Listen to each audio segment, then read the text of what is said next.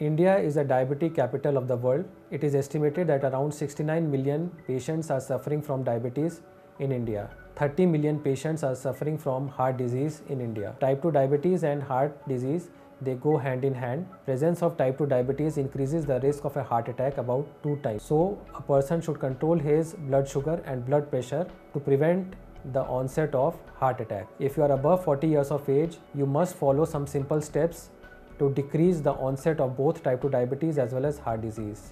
Like you should walk regularly for at least 30 minutes daily, eat a healthy diet, stop smoking, decrease the alcohol intake, eat less of salt, be physically active and keep your blood pressure, blood sugar under control and get your lipid profile checked at regular intervals. Remember, prevention is better than cure.